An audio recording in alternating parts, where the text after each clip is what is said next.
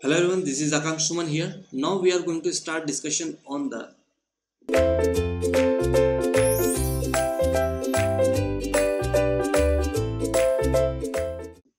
single slider crank mechanism. Basically, this is the question of single slider crank mechanisms.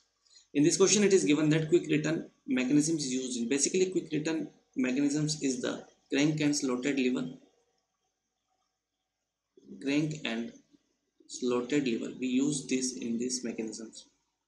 Slotted lever mechanism. You have to tell quick return mechanisms is used in which machine, shaper, milling, lathe, or drilling. So option A would be the correct answer for this question. Okay. In the shaper machine, quick return mechanisms is used. Okay.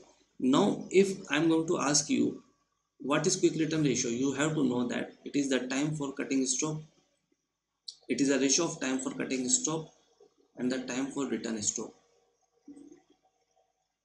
And it is always greater than 1. Always it is greater than 1 if in the question it is given that QRR is less than 1 you just have to inverse of that value okay in order to get greater than 1 value if in the question it is uh, it is given that QRR is 0.5 and we know that QRR is always greater than 1 so you just have to put the value of QRR 1 by 0.5 that is 2 use this value in the question.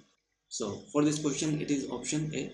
If you want to know any other machines so it would be planer machine also. If in the question it is given that planer